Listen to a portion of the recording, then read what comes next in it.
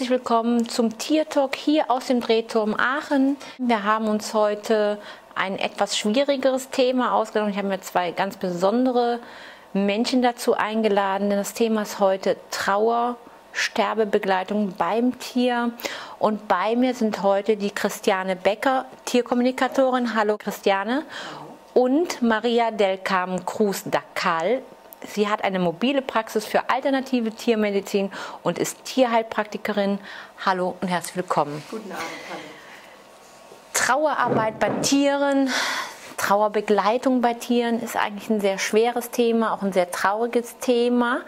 Aber wir wollen es einfach mal heute besprechen, um dem Menschen auch zu zeigen, wie das Tier es fühlt, wie das Tier das auch sieht durch die Tierkommunikation, was man auch machen kann, beim Sterben eines Tieres oder wenn es soweit ist.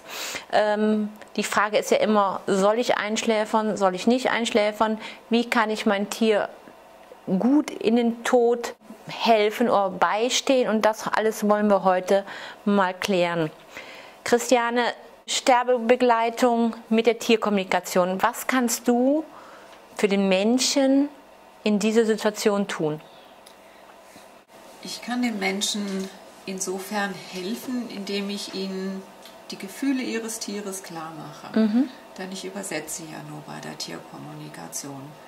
Ähm, das geht recht weit, weil die Menschen ja oft gar nicht wissen, was passiert in einem Sterbeprozess mhm. oder was passiert, wenn mein Tier krank ist, was passiert, wenn vielleicht auch gesagt wird, ja, Einschläfern, Euthanasie dann möchten die meisten Menschen ja wissen, wie geht mein Tier vielleicht damit um? Mhm. Oder hat es wirklich Schmerzen? Geht es ihm wirklich so schlecht? Oder all diese Fragen, die dann aufkommen. Mhm. Da kann ich dann in das Tier hineinspüren, hat es Schmerzen? Ähm, geht es ihm wirklich schlecht? Ist, ist, das, ist der äußere Eindruck, geht der konform mit dem, was auch das Tier fühlt? Ähm, was will das Tier überhaupt? Äh, wie, wie kann der Mensch zum Beispiel die Situation des Tieres erleichtern? Was mhm. wünscht sich das Tier? Ähm, wie kann man aus Sicht des Tieres heraus den letzten Weg so angenehm und so leicht wie möglich gestalten? Mhm. Das sind alles solche Fragen, die aufkommen. Eine der häufigsten Fragen ist natürlich die nach den Schmerzen. Hat mhm. mein Tier Schmerzen? Quält sich mein Tier? Leidet mein Tier? Ähm, das sind ganz, ganz schwierige Themen und ich rede da auch immer sehr, sehr lange mit den Menschen und mhm. versuche da Sicherheit zu vermitteln, mhm. denn darum geht es ja. Deswegen fragen die Menschen nach, um, um Sicherheit in so einer Situation zu bekommen. Das kennen Sie ja sicher ja. auch. Ne? Das, da, da herrscht eine enorme Unsicherheit, weil wer erlebt dann schon einen Sterbeprozess von einem Tier? Mhm auch von einem Angehörigen, von einem Menschen. Von einem Menschen. Das, das wissen wir oft ja gar nicht. Ne? Also ich habe sowas bei meinen Tieren miterlebt ja. und ich musste einschläfern. Da blieb also ein großes Pferd auf drei Beinen. Da ja. kann ich ihm nicht ermöglichen, 100 Jahre alt zu werden. Mhm.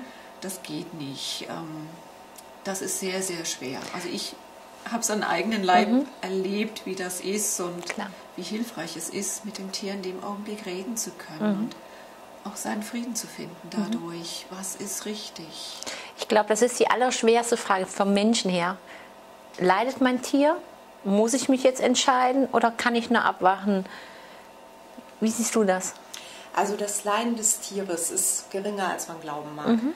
Die Tiere, die wissen genau, wann der Weg zu Ende ist. Ja. Die gehen diesen Weg ganz tapfer. Das ist einfach so, das habe ich auch schon erlebt. Ähm, bei mir, ich mache die homöopathische Sterbebegleitung. Mhm. Das hat zum Ziel, dass man eben diesen Sterbeprozess auch erleichtert, dass man mhm. das Durchlaufen dieser Sterbephasen ja. leichter gestaltet für das Tier. Man kann Schmerzen lindern, Ängste lindern, das Loslassen kann erleichtert mhm. werden. Aber das größere Problem sind die Menschen. Also es ist der Mensch, der sein eigenes Leid nicht ertragen kann. Er kann es nicht mit ansehen, dass das Tier das stirbt. So. Der Mensch versteht nicht, was passiert ist, hast du ja auch schon gesagt. Ja. Man ist völlig hilflos bei diesem Sterbeprozess, man hat Angst davor, man will mhm. weglaufen. Ähm, und das ist so wirklich, wo ich denke, dass das Leiden des Menschen einfach größer ist. Ich glaube auch, dass der Mensch dann einfach nicht loslassen kann, weil ich habe es auch selbst erlebt bei meinen Tieren, die verstorben sind. Die gehen dann eigentlich ganz friedlich und sagen, okay, jetzt ist es einfach zu Ende, ja, aber ähm, wir wollen ja nicht loslassen, ja. Wir halten ja immer dann noch fest und sagen, hey, können wir nicht doch noch irgendwas tun, um den noch vielleicht einen Monat oder was weiß ich, das Leben zu verlängern. Aber es ist ja unser eigenes Ego eigentlich. Also ich sage auch den Tierbesitzern immer, sie sollen ihrem Tier sagen, dass es gehen darf. Mhm. Also dass man auch selber ja. innerlich loslässt und dem Tier wirklich klar macht, du darfst jetzt gehen, das mhm. ist sehr hilfreich. Also auch für einen selber, wenn man sich das klar macht. Mhm. Ich finde es eine sehr menschliche Sache, dass man das Tier, klar. weil man hat ja ein total liebes Tier bei sich, einen guten Freund über Jahre, Jahrzehnte unter Umständen wo ein das Tier wirklich in allen Lebensphasen begleitet hat, durch, durch tief und dünn. Ein Kumpel, ne? ein Freund. Ja. Ist. ja, das ist einfach ja, für viele ein echter Freund mhm. und den möchte man natürlich behalten. Mhm. Das, das, ja. ich, ich kann das voll verstehen. Ich habe mich da auch schwer mitgetan, aber dann zu verstehen, dass das Tier sagt, es ist, ist besser. jetzt einfach mhm. am Ende, es, es ist gut und ja, ich habe vielleicht gar keine Schmerzen. Der Leidensdruck ist gar nicht so sehr, wie man selber das mhm. denkt, mhm. ja. Und ähm, ja, auch helfen zu können. Ich finde das auch sehr, sehr wichtig mit Bachblüten, mit Homöopathie. Mhm. Ähm, das erleichtert auch viel. Und dann das Feedback wiederum vom Tier zu bekommen. Ja, das hat mir geholfen, dass es mhm. geht gut. Und vielleicht auch an der körperlichen Reaktion zu sehen, so, ja, prima, mhm. alles in Ordnung, noch ein Tag. Und ich finde, am Ende ist dann jeder Tag wirklich wertvoll mhm. und wichtig. Maria, wie kann sich ein Tierbesitzer so eine homöopathische Sterbebegleitung vorstellen? Was also, machst du da? Es wird je nach Symptomatik, was das Tier hat, suche mhm. ich ein passendes homöopathisches Mittel aus. Ja. Und das soll dann eben Schmerzen lindern, diese Ängste oder bestimmte mhm. andere Symptomatiken, die da im Vordergrund stehen. Aber ganz wichtig ist es, den Menschen zu erklären, was jetzt passiert. Mhm. Ähm, man, wir haben ja eben diese Angst angesprochen ähm, und das ist einfach für den Besitzer eine sehr große Hilfe, wenn er diese Sterbephasen erkennt. Da kann ich nachher mhm. noch was dazu sagen, dass er weiß, okay, das mhm. ist so normal, das Tier durchläuft diese Phasen. Ähm, und man muss sich auch klar machen, dass Sterben kein Irrtum ist. Sterben gehört leider zum Leben dazu. Wir sagen ja auch immer, ein Glück, dass wir über die Tiere nur entscheiden können. Über Menschen können wir nicht entscheiden. Ja? Wenn der leidet, ob wir ihn gehen. Also ich glaube schon, dass es für also ich sehe es vielleicht als Glück an, weil ich sagen kann, okay, ich muss das Tier nicht leiden lassen. Ja, ich kann ihm diese Schmerzen abnehmen. Das ist für mich Aber das kleine Glück, genau sage ich jetzt Punkt. einfach mal. Ja? Genau das schwer. Mhm. Das, das meine ich mit Glück. Ähm, ja. Viele empfinden das als sehr, sehr schwer, den mhm. Punkt zu treffen. Wann ist denn der richtige Augenblick? Aber jedes Tier zeigt es einem. Das ist schon richtig. Ja, also jedes Tier zeigt unsicher, diesen ne? Punkt. Ja, ja klar. Ich ja, ich meine, wir, äh, die da wirklich Fachleute sind, wir sehen den Punkt, ja, und sagen, okay, jetzt ja. ist es soweit. Und, und das, vielleicht war es falsch ausgedrückt, aber dieses Glück ist, dass wir es sehen können und ihnen dann auch helfen können, ja. Vielleicht so besser formuliert. Ähm, was man bei Menschen, die leiden, die jahrelang vielleicht in einem Kampf drin sind, in einem Todeskampf, die können wir nicht helfen, sage ich jetzt einfach mal. Ja? Und von daher sehe ich das als Glück an. Ja? Aber wir haben dich unterbrochen, Entschuldigung. Das ist kein Problem. Also ich wollte nur noch mal sagen, es ist wichtig für den Tierbesitzer, dass er einfach versteht, Sterben gehört dazu. Mhm. Das ist wie die Geburt. Es sind zwei Vorgänge, die jeder mitmacht. Mhm. Das ist normal, ob Mensch oder Tier. Und ähm, bei der Geburt ist dagegen interessant, also die ist ja auch mit Anstrengung, mit Schmerz verbunden. Da würde aber niemand kommen und sagen, wir unterbrechen das Ganze mhm. mal. Also da wird das hingenommen. Und beim Sterben sollte das auch so sein. Mhm. Was sind so die gängigen Fragen, die dir gestellt werden bei diesem Weg in die Sterbebegleitung? Also es wird oft angenommen, dass die homöopathische Sterbebegleitung eine sanfte und alternative Form der Einschläferung ist. Das ist es nicht. Mhm. Also die Einschläferung ist unumgänglich. Wenn die Spritze gesetzt wurde, folgt der Tod des Tieres. Bei der homöopathischen Sterbebegleitung ist es so, dass die Lebenskraft entscheidet. Das mhm. heißt, wenn das Tier noch Lebenskraft hat, kann das Mittel zu einer Erholung führen. Mhm. Wenn das Tier aber keine Lebenskraft mehr hat, mhm. Dann eröffnet das Mittel den Sterbeprozess und die Sterbephasen werden durchlaufen. Also das ist mhm. ein ganz wichtiger Unterschied zur Einschläferung. Okay. Mhm. Also da entscheidet wirklich das Tier. Richtig. Möchte ich gehen oder Richtig. möchte ich nicht und gehen? Und das finde ich das Angenehme mhm. dabei. Also man setzt nicht diesen Schlussstrich wie bei ja. der Einschläferung. Was wird bei dir so am meisten gefragt, wenn die Tiere in ihrem Sterbevorgang sind? Am meisten und am häufigsten kommt die Frage nach Schmerzen mhm. und Leid. Ist mein Tier wirklich so schlimm dran? Mhm. Leidet es? Ähm, muss ich es unter Umständen einschläfern, weil der mhm. Tierarzt gedrängt hat, einzuschläfern? Ist das wirklich schon soweit? Ähm, mhm. Ist jetzt der Augenblick da? Also eine der häufigsten Fragen wirklich, wann, wann, wann ist es denn soweit? Oder ja, das Leid der Menschen ist da oft viel, viel größer. Und es gibt, ohne Frage, es gibt Momente, wo Einschläfern angesagt ist. Ich habe auch Tiere schon erlebt, die durchaus wünschen, mhm. eingeschläfert zu werden, weil sie tatsächlich leiden, weil sie tatsächlich wirklich furchtbare Schmerzen haben.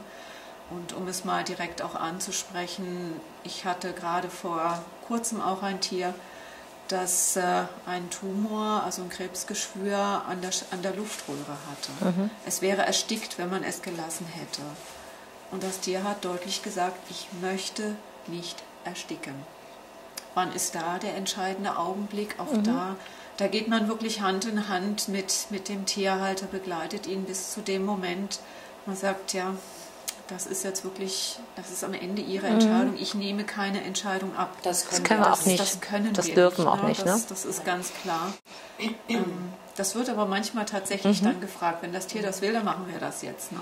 Aber so einfach ist das nicht. Aber dann ist der Mensch von der Schuld befreit. Ja, wenn das Tier ja, ja, das ja. sagt, dann wird das jetzt klar. gemacht, ist ich ganz klar. Das ne? auch.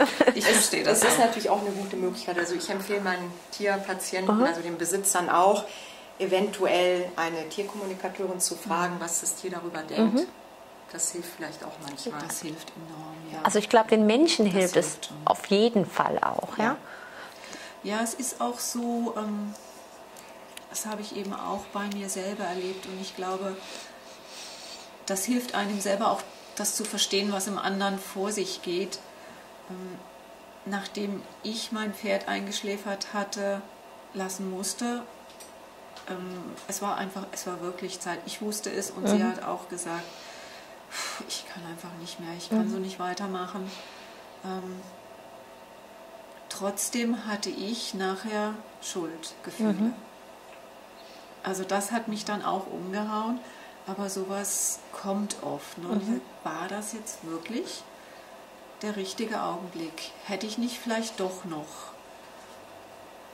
sie hat es vorher ganz deutlich auch gesagt und sie hat es mir von ihren Gefühlen her mhm. zum Spüren gegeben. Und ich denke, das ist dann wiederum die Chance, die man hat mit der Tierkommunikation, dass man reingeht. Und ich spüre das ja nun am eigenen Körper. Ich sage, nee, also mhm. das ist jetzt echt heftig, was da kommt. Ne? Überlegen Sie sich das gut. Und das Schöne daran ist auch, und ich sage das immer auch sehr, sehr deutlich, wenn es so weit kommt, dass ein Tier eingeschläfert werden muss, das Tier nimmt es dem Menschen nicht übel. Mhm. Es macht dem Menschen keinen Vorwurf draus. Mhm. Das ist mir wirklich immer wichtig, das von vornherein auch klar zu machen. Die Tiere, die lieben uns, die geben uns wirklich diese bedingungslose Liebe. Mhm. Das ist das ist ja auch das, warum wir so an ihnen hängen, ne? was wir so toll an ihnen finden. Und sie lieben uns mit allem, was wir entscheiden, mhm. was wir tun in diesem Punkt. Ja, das ist so und es ist auch gut so, sage ich jetzt einfach mal. Ja. Äh, Maria, jetzt hast du eben von Phasen schon gesprochen, ja. äh, die Todesphasen. Es gibt vier Phasen: Erdphase, Wasserphase, Feuerphase und Luftphase. Ja. Was sind das für Phasen? Diese Ansicht, die stammt aus dem tibetischen Buddhismus. Man mhm. sagt, dass der Körper eben in diese vier Elemente wieder zerfällt.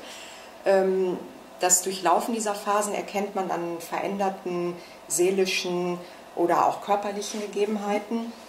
Und man sagt, erst wenn diese Phasen vollendet worden sind, können Körper und Seele sich trennen. Mhm.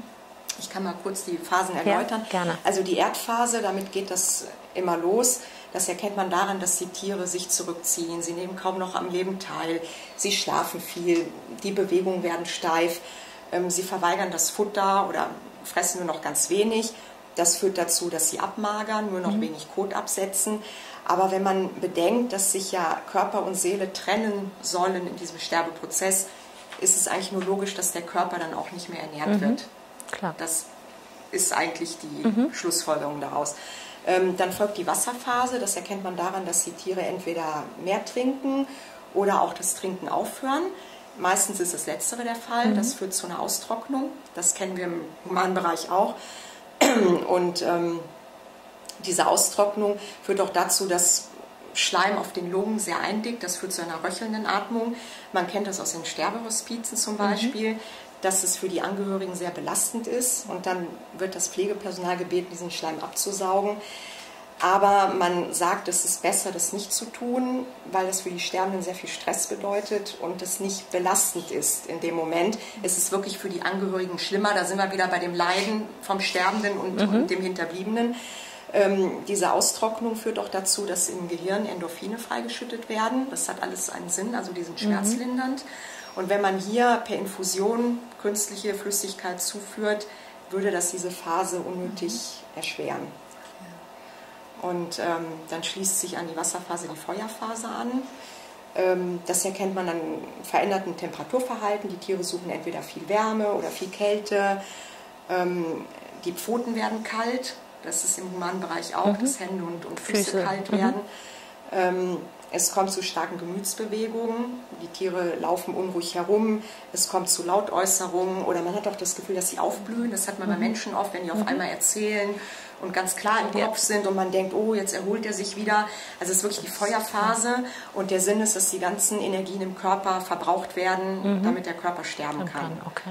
Und das letzte ist die Luftphase. Erkennt man daran, dass die Atmung flacher wird, schwächer wird, auch mal aussetzt und schließlich, wenn die Atmung ganz aussetzt, tritt der Tod mhm. ein. Okay. Und diese Phasen kannst du halt mit der Homöopathie unterstützen? Die kann ich lindern, die Beschwerden, mhm. die Symptome. Okay. Genau. Mhm. Ähm, jetzt einfach nochmal, wie ist es, Christiane, ähm, was erzählen dir die Tiere bei so einem Sterbeprozess? Was passiert mit denen? Das ist eine ganz spannende Frage, mhm. finde ich. Ähm, das ist sehr, sehr unterschiedlich. Abhängig davon, ob die Tiere eine Erkrankung haben. Mhm. Dann können natürlich die Schmerzen oder Probleme damit eine Rolle spielen. Aber gerade zum Ende hin, wenn es ihnen möglich ist, so einen natürlichen Übergang zu haben, dann erzählen die mir, dass sie durchaus wissen, wo sie hingehen. Sie haben ein Bewusstsein davon, wo sie hingehen. Ganz anders als wir. Mhm. Das ist der entscheidende die Unterschied. Die gehen viel leichter und besser damit um ja, als wir. Das, das habe ich auch schon erlebt bei der Tierkommunikation. Ja, ja, und das fand ich also für mich persönlich sehr faszinierend mhm. und ja auch immer wieder neu bewegend, wenn die mit solchen Bildern kommen und vielleicht unterschiedlich auch beschreiben, wo sie hingehen, mhm. was sie erwartet, dass sie damit völlig im Reinen sind. Die meisten, nicht alle, weil es gibt auch welche, die sagen, nee, also hier auf der Erde ist es so schön, ich möchte eigentlich noch bleiben. Mhm. Es passt mir nicht, dass ich jetzt gehe. Ne? Die wollen dann gezielt, sie wollen nicht eingeschläfert werden, sie wollen dies nicht, jenes nicht, nee, sie wollen bleiben. Ne? Also das ist ganz unabhängig. Was sind das für Tiere, die dann auch wirklich auch richtig krank sind oder die das ähm, muss gar nicht. Das okay. muss gar nicht. Also es gibt durchaus Tiere, die sind ganz klar auf ihrem Weg. Da erkennt mhm. man die Phasen. Die haben das Fressen schon eingestellt. Ähm, das habe ich auch schon wirklich erlebt. Es ist dann nicht so, dass die Phasen, die gehen so über bestimmte Tage oder so. Nee, also der hat das über ein paar Monate geschafft. Mhm. Das ich, kann mitunter sehr lange gehen mit den Phasen. Okay. Ja, das stimmt. Ja, gerade die Erdphase ja. kann sehr lange anhalten. Ja. Mhm. Also das heißt, da kann man nie sagen, so das und das dauert so lange oder Nein. so. Das ist also Nein. auch bei jedem Tier. Das ist individuell und mhm. ganz unterschiedlich. Okay. Absolut. Also das hat mich, hat mich damals schon schwer beeindruckt, wo ich das miterlebt mhm. habe. Und das hat sich dann alles so angeguckt und äh, so richtig bewusst Abschied genommen. Die verabschieden sich, ja, ja ganz mhm. genau. So rumlaufen, ja. gucken, ausprobieren vielleicht, mhm. ähm, ja, ganz bewusst Abschied nehmen. Und das ist denke ich, auch ein Geschenk oder eine Information, die wir für uns mitnehmen können, was wir tun können, wenn wir vielleicht merken, es geht zu Ende oder es ist, neigt sich dem Ende zu, einfach auch nochmal bewusst alles wahrzunehmen, bewusst sich zu mhm. verabschieden. Das, das finde ich ganz, ganz toll bei denen. Mhm. Erleben Hunde oder Tiere allgemein, nicht nur Hunde, Tiere allgemein den Tod anders als wir Menschen? Ja und nein. Ähm, mhm. Sie erleben es anders, weil sie wissen, wo sie hingehen. Mhm. Da ist weniger die Angst darüber, gibt es da noch was danach oder nicht, das mhm. bei uns ja oft vorherrscht. Ähm, sie können schon auch mal die Angst davor haben oder entwickeln vor dem eigentlichen Moment, mhm. weil sie auch nicht loslassen wollen vielleicht oder weil es eben doch schmerzhaft sein könnte oder sein wird. Mhm. Das wäre dann der Moment, wo man wirklich mit Homöopathie auch eingreifen könnte oder ja, je nachdem. Das muss wirklich abgewogen werden von mhm. Situation zu Situation. Was ist hier richtig? Ähm, ja, wie erleben Sie es noch? Ähm, manche von Ihnen können ganz ruhig, ganz langsam, still und leise einschlafen, genauso wie wir Menschen auch. Mhm. Passiert bei denen vielleicht sogar noch häufiger als bei uns. Andere sind wieder sehr unruhig, wie du ja schon mhm. gesagt hast. Ähm, das Schöne ist, dass ich dann wirklich in dem Augenblick hingehen kann und den Menschen, der dann sehr unsicher wird in solchen Momenten, mhm. unterstützen kann und sagen kann, es ist wirklich alles in Ordnung. Dass es jetzt so unruhig rumläuft, ähm, dass es jetzt vielleicht sogar Angst hat, mhm. ähm, Angst zeigt, das ist alles ein Teil davon. So wie Ganz du eben genau. auch das erklärst genau. mit den Sterbephasen, ja. so mache ich das dann über die Gefühle. Mhm. Ich, ich gehe dann auch auf diese Phasen ein aber dass ich dann wirklich hingehe und sage, okay, wenn es jetzt diese Angst hat, dann sind vielleicht diese oder jene Bachblüten hilfreich, um das eben zu mhm, lindern. Mhm, genau. Das mache ich wirklich von den Gefühlen dann abhängig. Mhm. Da kann man wirklich schön unterstützen, dass es ihnen leichter gemacht wird. Ansonsten hatte ich schon oft gedacht, ist es wirklich so anders, als wie wir Menschen es erleben? Ich glaube nur aus diesem Bewusstsein heraus, dass sie wissen, wo sie hingehen. Mhm. Dass dieser Teil der Angst wegfällt, ist es anders, ja. Wenn sie dann einschlafen, ich war noch nie dabei, als ein Mensch eingeschlafen ist. Das kann ich also nicht explizit sagen, wie das da ist. Aber wenn sie dann einschlafen, dieser Moment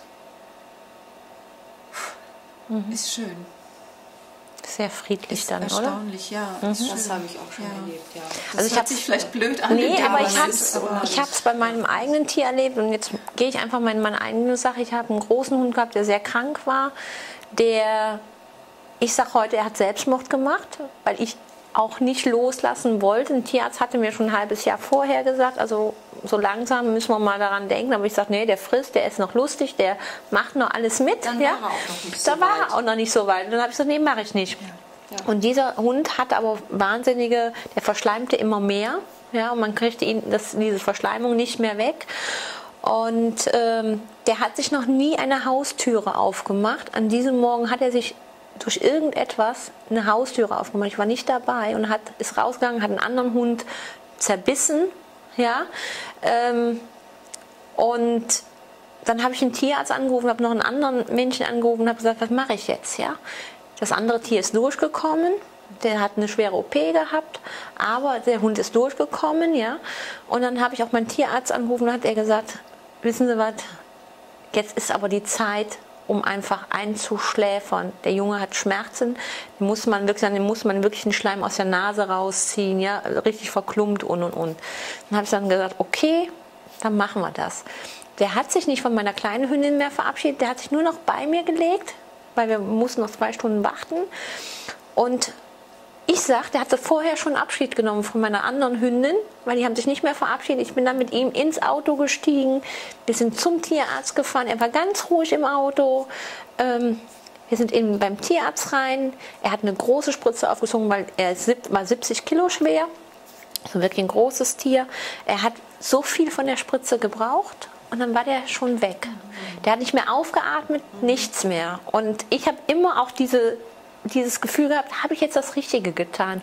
Und ich, wir sind zurückgefahren und wir sind an unserem Hundeplatz vorbeigefahren und dann kam dieses Bild, dass er lachend über diesen Hundeplatz lief, also mit wirklich mit Freude und allem drum und dran. Und für mich war das wirklich so, dass ich sagte, ich habe die richtige Entscheidung getroffen ja, und das Bild war einfach für mich auch okay und ja. das habe ich auch heute noch mit, ja. dass ich sage, das war wirklich für ihn, er hat mir die Entscheidung abgenommen. Mhm. Ja? Dann war das wahrscheinlich so ein Fall, wie die Christiane genau. gesagt hat, der wollte dann gehen. ja der, ne? Ja. Das ging einfach nicht anders und ähm, das war wirklich dann so, wo ich sagte, okay, das ist dann Aber gut. dieses ne? Bild ist schön, da freut man sich ja. doch drüber, wenn man Sicher. weiß, es das war für mich eine Riesenerleichterung, ja. Genau, und da kann man dann auch gut Das war für mich eine Riesenerleichterung, dieses Bild zu bekommen und zu sagen, hey, jetzt weiß ich, dass alles in Ordnung ist, ja. Und das ist dann, glaube ich, ähm, das tolle Gefühl daran, dass man das richtig gemacht hat. Maria, wie ist es bei dir mit den Menschen, wenn du sagst, okay, es ist jetzt in, wir gehen jetzt in diese Phasen rein, ja? Ähm, du begleitest ja dann Tier und Mensch. Was ist schwieriger, den Prozess mit dem Tier oder den Prozess mit dem Menschen durchzuleben? Mhm. Was wir eben schon sagten, die Tiere, mhm. die machen das so tapfer. Ähm, das ist auch, wie Christiane sagte, die verabschieden sich. Deswegen sage ich immer, eine Einschläferung, es gibt natürlich Fälle, wo man einschläfern mhm. muss was wir eben gesagt haben, das habe ich auch, wenn mhm. ein Tier einen schweren Unfall hatte oder ein Tumor im Bauchraum platzt oder Hirntumoren, ja. wo die Tiere zu einer Gefahr werden für sich und andere. Da sage ich auch, da muss man mhm. einschläfern, ganz klar. Aber ich sage mal, so ein normal altes Tier, was, was eben diese Sterbephasen ja. anfängt durchzumachen, da merkt man richtig, wie die sich vom Leben verabschieden. Mhm. Und das ist so wichtig. Die durchlaufen das im eigenen Tempo, die geben dem Besitzer die Chance, sich zu verabschieden. Mhm. Und das Einschläfern, das ist ein gestorben werden und kein mhm. Sterben. Und wenn das mit dem Tier wirklich so abläuft, ich meine, es sei denn, es sagt, es will eingeschläfert mhm. werden, aber das ist wirklich eine andere Sache. Aber so kann sich das Tier wirklich vom Leben verabschieden und das finde ich ganz wichtig. Mhm. Und es macht noch eine andere Erfahrung. Man sagt, dass wenn man die Sterbephase durchläuft, die Seele befreit wird und sich weiterentwickeln kann. Mhm. Und die, die Einschläferung ist leider, das habe ich auch oft erlebt. Also ich habe mich mit dem Thema befasst, als meine eigenen Tiere alt und krank wurden. Früher habe ich auch gedacht, wenn der Tierarzt sagt einschläfern, dann macht ja. man das eben. So, und wie ich dann anfing, mich damit zu befassen, habe ich gesehen, okay, es gibt noch andere Möglichkeiten. Mhm. Und ähm, es ist auch oft so, dass die Besitzer das auch gar nicht wissen, dass es andere Möglichkeiten gibt. Dann habe ich angefangen, mich mit dem Thema zu befassen und habe mir gedacht, okay, unsere Tiere haben eine Seele, mhm. sie haben einen Charakter, sie sind selbstbestimmte Wesen und sie sollten das Recht haben, ihr Leben selbst zu Ende zu ja. führen. Absolut, ja. Ist einfach so. Wenn es ihnen so gut geht, dass sie das können, ja, warum? Ganz ne? genau. also immer vor diesem Hintergrund. Ja, ich fände das auch schön. Ich habe mir das eigentlich für meine letzte Katze auch gewünscht und sie hat leider auch nicht geschafft. Okay. Also meine Tiere haben es zum Glück alle geschafft. Ich musste schön. toi toi toi noch keines einschläfern. Die mhm. sind alle super friedlich gegangen. Und das war für mich auch ein Prozess. Ich musste das auch lernen. Das kostet unheimlich viel Mut und Kraft, das, das zu sehen. Es ist, es ist nicht, nicht einfach. einfach. Ja. Aber ich habe gedacht, ich versuche es jetzt. Dadurch, dass ich die Sterbephasen erkannt habe, mhm. fiel es mir viel leichter, wenn man versteht, was passiert. Die Gabe der Mittel habe ich gesehen, hilft auch man lernt unheimlich viel daraus. Ich glaube, die vier Phasen sind ganz, ganz wichtig für einen Menschen. Ja? Wo, wo kann man die noch nachlesen? Weil ich wusste es bis jetzt auch nicht. Ja? Ich habe jetzt auch erst äh, davon erfahren, von den Phasen, weil ich glaube, daran kann ja auch dann jeder erkennen, wo stehen wir mit dem also Tier, oder? Im Internet steht, Im Internet steht okay. viel, also okay. im Humanbereich, gerade bei mhm. diesen Sterbehospizen steht sehr viel, okay. weil die eben nicht äh, Infusionen und Magensonden und so weiter, mhm. also die lassen wirklich die, die Phasen durchlaufen mhm. und eben ähm, Bücher über Buddhismus. Ja. Mhm. Da kann man sich informieren. Es gibt ganz viele auch, die sich mit den Sterbephasen ausführlich beschäftigen, auch wie es begleitet werden kann. Ganz, mhm. ganz es gibt auch menschliche Sterbebegleiter, ja, also für den humanen Bereich. Mhm. Ja. Okay. Ähm, Christiane, sagen die Tiere, wenn sie so in ihren Sterbephasen sind oder wenn sie so gehen möchten, sagen sie auch so, ich wünsche mir noch das und das von meinem Frauchen oder Herrchen? Jo. Was kommt da jo. zum Beispiel? das kann ganz unterschiedlich Aha. sein. Also auch je nach Phase, ne? dass sie sich irgendwie Wärme wünschen, eine. Wärmelampe oder ein rotes Kissen oder sie wünschen sich, also ich würde jetzt ganz gerne noch mal eine Portion von dem und den haben mhm. und, und ich sage jetzt mal Hühnerfleisch oder ja. so. Ne? Äh, bitte gekocht oder auch nicht. Ähm, so, so ganz spezielle Wünsche. Mhm aber auch hin und wieder der Wunsch, so ich möchte noch einmal den Rasen unter den Pfoten spüren. Das habe ich auch schon mal gehört, ja. Oder ein Wellensittich, der mal raus ja. wollte, der sein ja. Leben lang drin war und er wollte mal unter freiem Himmel ja. und dann hat die Besitzerin ihn rausgebracht und dann ist er gestorben. Ja, Hammer. Ganz genau. Also, also die habe ich nicht selbst gemacht, die Kommunikation, aber ich weiß von dem Fall. Mhm. Okay, also Sie sagen dann auch ganz klar noch, was Sie so wollen und ähm, so den letzten Wunsch fragt sich so nochmal. Ja. Und das ist mich das nicht Schöne. da und da an, sondern streichel mich hier oder mhm. gib mir Reiki oder ich hätte gerne bestimmte Farben mhm. oder ganz spezielle Wünsche, die es Ihnen unter Umständen erleichtern, aber eben auch diese, diese Wünsche, ich möchte noch einmal. Wie bist du zur Tierkommunikation gekommen? Wie ich dazu gekommen bin, mhm. durch die Erkrankung von meinem Pferd damals. Okay. Das hat mich dazu geführt. Und seitdem immer wieder das Erlebnis mit dem Tier, dass man da so viel mehr erfahren kann, mhm. erleben kann. Mein, mein Tier war krank und da bin ich eigentlich eher noch durch zur Homöopathie gekommen, dann diesen ganzen Weg entlang gewandert mhm. und dann gemerkt, da ist so viel mehr. Und die Tierkommunikation hat mir Türen geöffnet, Möglichkeiten geöffnet, Möglichkeiten im Zusammenleben mit dem Tier, ja, auf jeden mhm. Fall. Einen ganz anderen Respekt untereinander. Ich zum Tier, das Tier zu mir auch. Da, da ist ein ganz anderes Miteinanderleben, mhm. Miteinander umgehen. Ähm, ja, in jeder Beziehung, ich weiß gar nicht, es hat sich alles geändert mhm. für mich und deswegen bin ich dann diesen Weg auch immer mehr gegangen, weil ich gespürt habe, weil ich gefühlt habe, weil ich gesehen habe, wie anders es wird und ich wollte das dann auch den Menschen beibringen, mhm. ich wollte das den Menschen vermitteln mhm. und dann geht man den Weg, dann wird man professionelle Tierkommunikatorin, wie es so hübsch heißt, Einzelberaterin, und gibt Kurse, ja. Mhm. Wie du es auch heute machst. Ja. Ähm, machst also nicht nur die Tierkommunikation bei den Kunden, sondern du vermittelst es auch. Ja. Maria, du bist jetzt Tierheilpraktikerin, ja? Für alternative Tiermedizin? Ja, ja, also Schwerpunkte sind die klassische Homöopathie, die ich eben mhm. bei der Sterbebehandlung ja. einsetze. Es ist natürlich mein Ziel, die Lebenden weiter am Leben zu erhalten. Das ist klar. ähm, und ähm, ich kann akute und chronische Krankheiten behandeln. Ich mhm. nehme auch Akupunktur dazu. Ähm, Augenerkrankungen, Hals-Nasen-Erkrankungen, ähm, Erkrankungen der Ohren, die sehr mhm. oft bei Hunden vorkommen, Beschwerden des Herzens, Atembeschwerden, Magen-Darm-Probleme, also im Grunde alles Bewegungsapparat, Hautkrankheiten und auch äh, Verhaltensauffälligkeiten die lassen sich sehr gut behandeln, psychische Beschwerden. Mhm.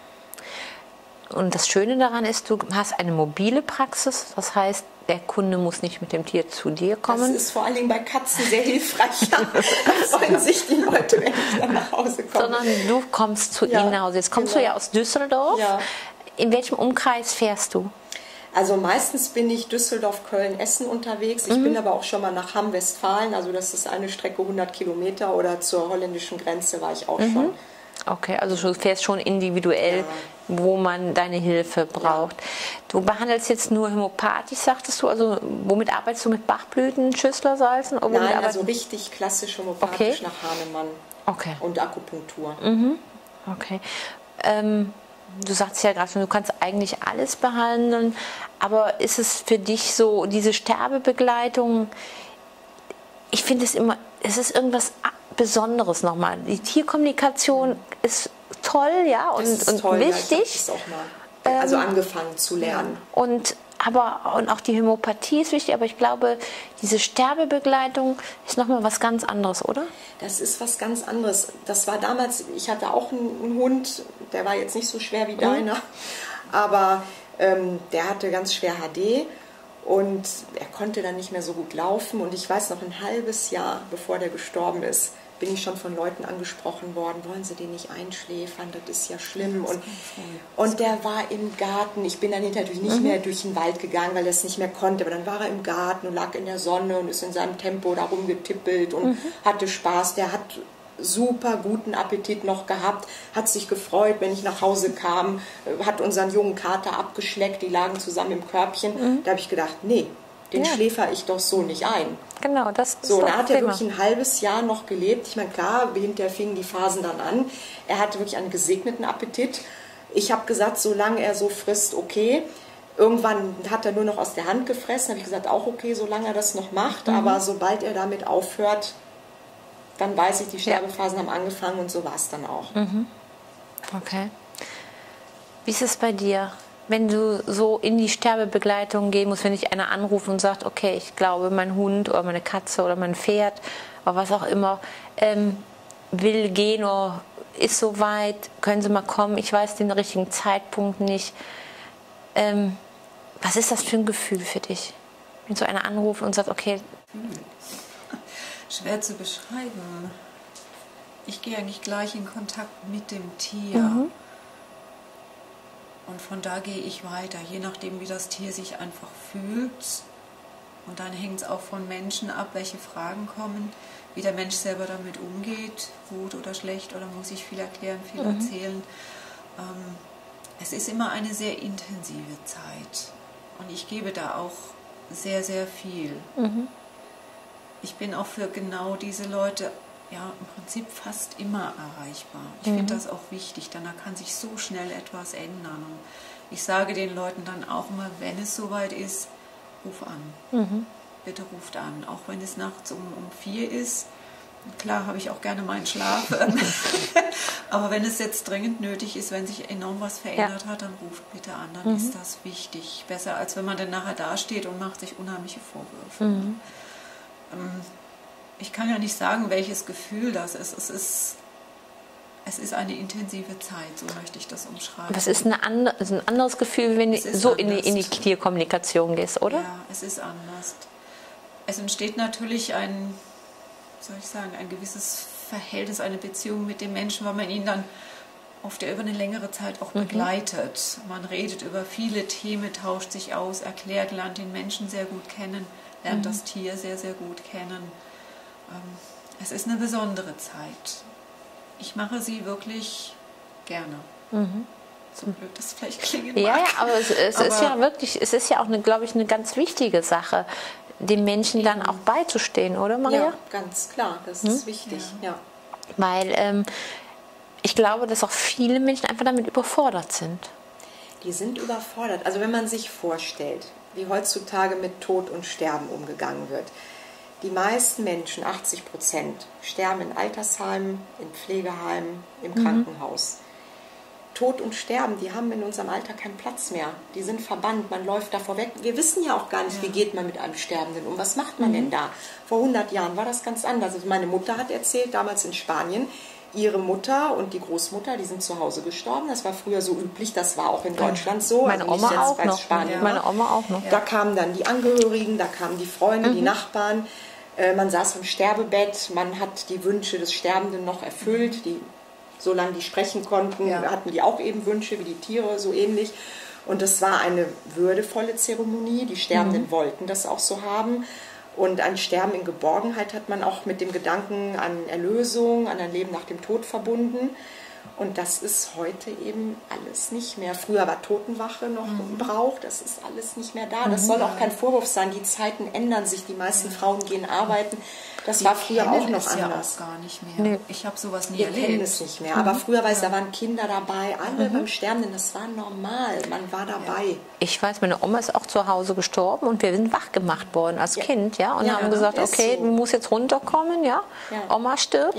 Das und wir haben mit der ganzen Familie wirklich dabei gestanden, ja. bis sie ihren letzten Atemzug gemacht ist hat. Ist das ja? nicht schön? Das ist das dabei also so traurig. Was heißt es schön? Man, man also ich war, ich war noch ein kleines ja. Kind, ich habe das noch gar nicht so bewusst mitgekriegt, ja. ja aber ähm, es ist schon so, dass du, die, wenn du die ganze Familie dann auch darum siehst, ja, die verhalten ja natürlich auch ihre Tränen teilweise noch weg, ja, weil sie soll das ja auch nicht sehen. Es ist schon auch so eine sehr gedrückte Stimmung irgendwo, ja. Natürlich man ist ja auch traurig. Also mhm. schön ist das wirklich das falsche Wort, ist ja. blöd gesagt. Aber ich finde, es ist ein Geschenk dabei sein zu können mhm. und sowas bis zum Ende oder eigentlich Anfang. Es ist ja nicht wirklich ein Ende, es ist ein Übergang. Ne? Mhm.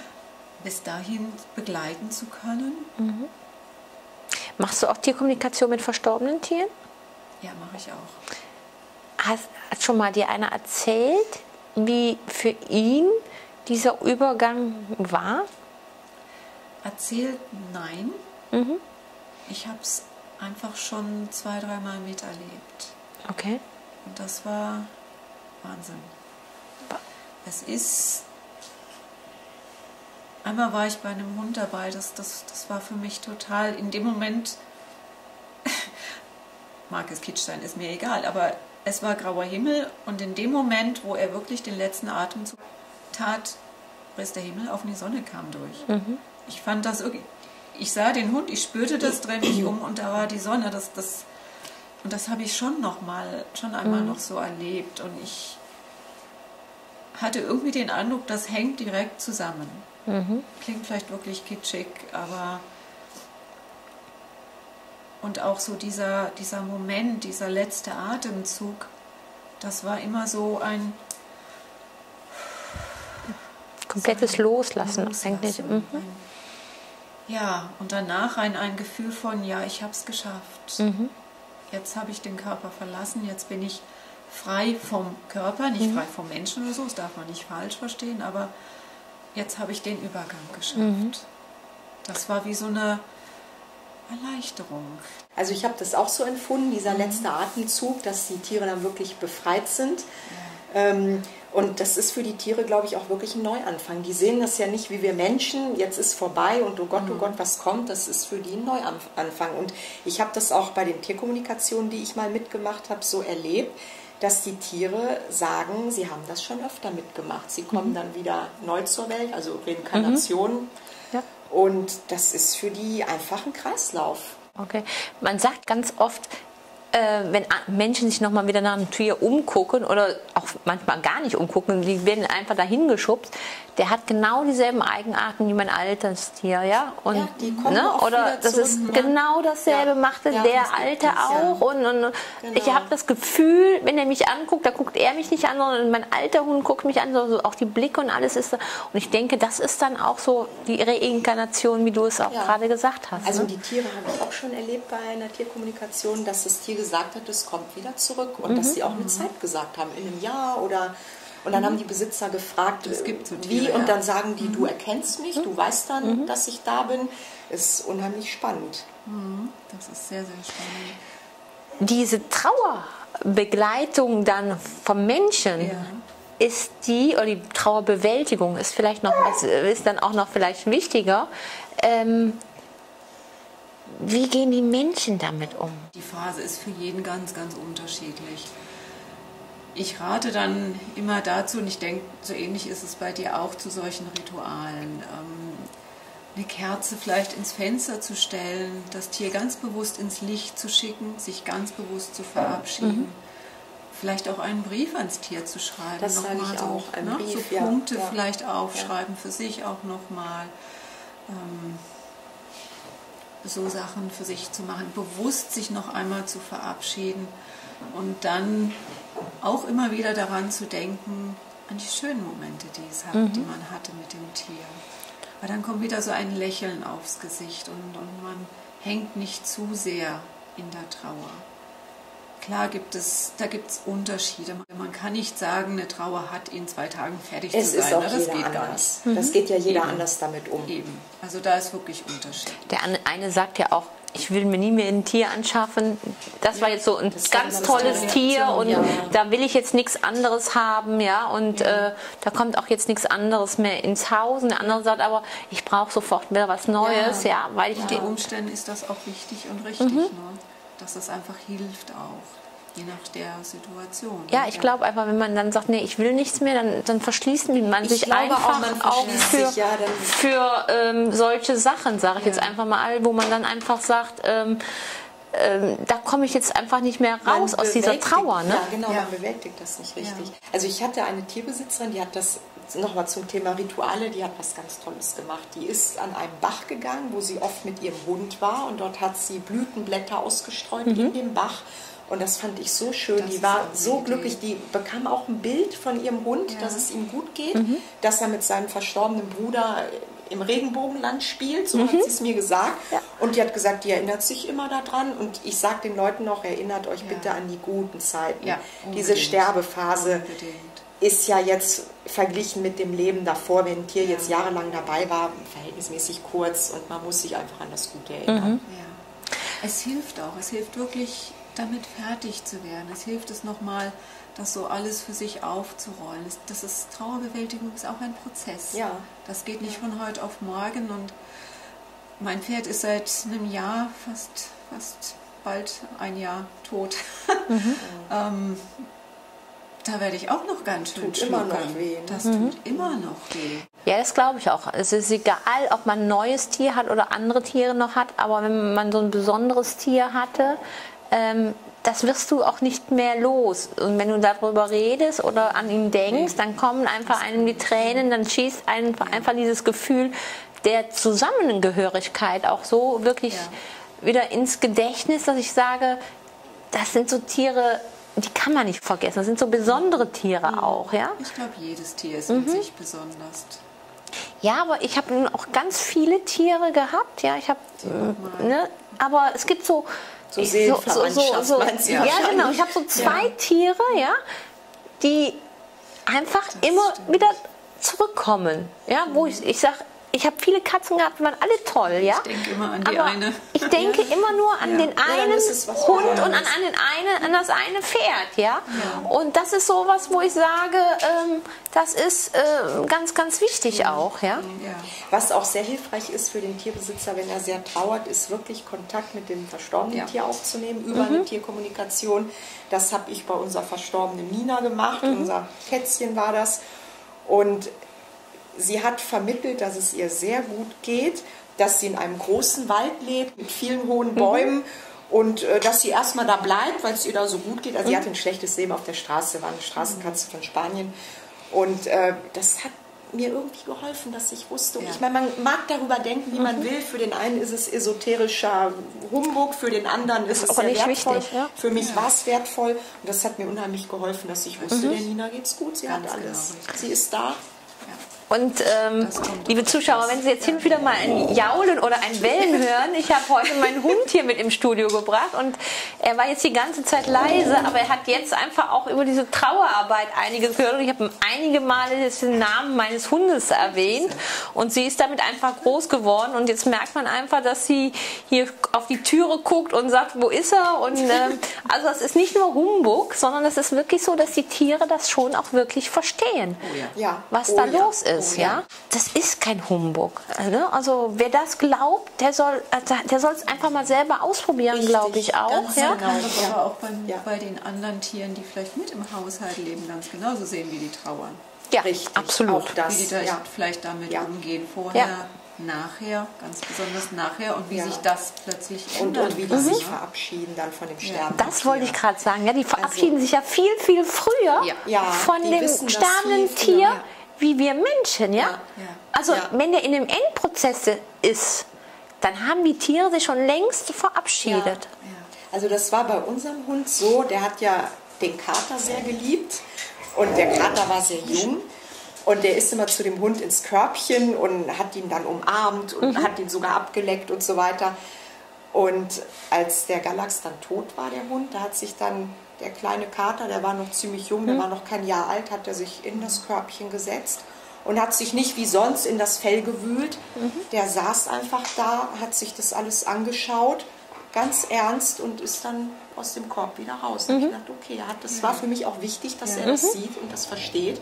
Und es war für ihn in Ordnung. Ich ja. glaube, es ist auch wichtig, die anderen Tiere dann dabei zu lassen, ja. oder? Und sie nicht rau extra rauszutun, wenn so ein Tier stirbt, sondern dass man wirklich ganz klar sagt, die Tiere sollen dabei bleiben, oder? Ja, ja, das finde ich, find ich ganz, ganz wichtig. Bei Pferden zum Beispiel, dass man das Pferd mhm. nicht wegbringt, sondern dass man vielleicht seinen Freund, seine Freundin, Boxennachbarn dabei sein lässt. Und Pferde trauern ganz arg. Die können das auch richtig doll zeigen. Ich habe das erlebt ähm, in einem Pferdestall, wo ein Tier auch eingeschläfert worden ist. Es ist von den anderen sondiert worden, ja, damit die anderen es nicht so mitkriegen, aber es war schon noch im Stall, ja. Und in dem Moment, wo dieses andere Tier eingeschläfert worden ist, bin ich dann in dem anderen, also in dem Stall, wo alle Pferde drin standen, gegangen und es war eine Totenstille. Ich habe mich so erschrocken. Ja, ich denke, was ist denn hier los? Sonst hörte man immer mal wirklich so ein anderes Tier wiehern oder, ne? Aber in dem Moment ist es wirklich so, dass es eine Totenstille war und ich habe mich eiskalt erschrocken und habe gesagt, boah, was war das denn? Es war nur vielleicht eine Minute oder zwei, ja, aber mhm. man hat definitiv gemerkt, dass da was, dass da was passiert ist, ja. Sagen dir die Tiere das auch, wenn sie so in so einem Rudel leben oder wenn sie mehrere Tiere haben, dass die anderen dabei bleiben sollen? Das ist ganz unterschiedlich. Okay. Manche wollen wirklich dabei sein, andere machen das schon lange vorher, wie du auch beschrieben hast. Die mhm. wissen das ganz genau und da wird nicht mehr viel drüber geredet. Mhm. Ich sage eigentlich immer, auch hinterher lasst sie nochmal, wenn der tote Körper noch da ist, lasst sie ruhig gucken. Mhm. Dass es nochmal für das zurückgebliebene Tier leichter wird. Mhm. Weil danach ist eine Leere auch für das Tier. Mhm. Dann ist da das zweite weg. Da, da, ist alles, alles ist verändert, gerade bei Katzen auch. Ja. Wenn, die, wenn die zweite wegfällt, finde ich das sehr, sehr wichtig, dass mhm. die zurückgebliebene Katze das sehen kann nochmal. Mhm. Egal, ob die weiß, egal, ob die gesagt hat, ich will dabei sein häufig wollen die in dem Moment, also wenn mhm. bei einer Einschläferung oder so, wollen die wenigsten dabei sein. Ähm, bei mir war das so, ich, ich musste, mhm. ähm, meine kleine Katze hatte das auch gesagt und das war für mich wahnsinnig berührend, weil die Tierärztin nicht gleich kommen konnte, was aber in dem Moment wirklich gut war. Mhm. Weil in der letzten Nacht, das, das war eben alles nachts passiert, bis die kamen, sechs Stunden noch, haben die sich beide, die haben nie zusammengeschlafen, beide bei mir, einer rechts von den Füßen, einer links von den Füßen hingesetzt. Und ich konnte dann natürlich nicht schlafen. Ja. Oh, das, das, war, das war der Hammer eigentlich. Und dann, wo die Tierärztin kam, war alles klar. Er hatte sich schon verabschiedet von ihr und er ist rausgegangen. Ja. Er kam hinterher nochmal gucken, aber dabei mhm. sein, nein, das war okay. ganz klar. Okay. Also sie zeigen es und sie sagen mhm. es. Christiane, wenn man jetzt mehr über dich erfahren will, wenn man einfach dich mal fragen will, wie ist das bei meinem Tier äh, mit Sterben, wie kann man Kontakt mit dir aufnehmen? Ja, einmal findet man mich im Internet unter www.tierwohlgefühle.de, Gefühle mhm. mit UE. Mhm. Oder aber man ruft mich an. Mhm. Am meisten werden die Verbindungen übers Telefon hergestellt. Soll ich die Nummer sagen? Du kannst die Nummer gerne sagen, ja. Das ist 0241 95 78 5672. Okay. Maria, wo kann man dich erreichen? Also meine Internetseite klingt nicht so schön wie die von Christiane, weil die aus meinem Namen besteht. Der ist ein bisschen schwierig. Äh, aber man kann mich telefonisch erreichen, also in Düsseldorf 0211 270 19120. Und, aber du hast auch eine Homepage, sag uns die, die auch noch auch. bitte. www.cruise dakal.de. Okay, damit man dich auch im Internet findet, finde ich das einfach auch ganz wichtig, weil manche suchen ja wirklich nur über Internet und wollen erstmal auch was über dich selbst erfahren. Ja. Und du hast so viel, was du machst, ja. Das ist also auch dann wirklich ein, äh, wert, mal auf die Homepage zu gucken, genauso wie bei der Christiane. Ich sage danke, vielen, vielen Dank für dieses tolle Thema. Ihr wart zwei reizende Partner heute Dankeschön. im Gespräch. Ähm, wir werden uns bestimmt noch mal wiedersehen. Und ich sage auch vielen, vielen Dank fürs Zusehen. Ihre Beate Hermanns.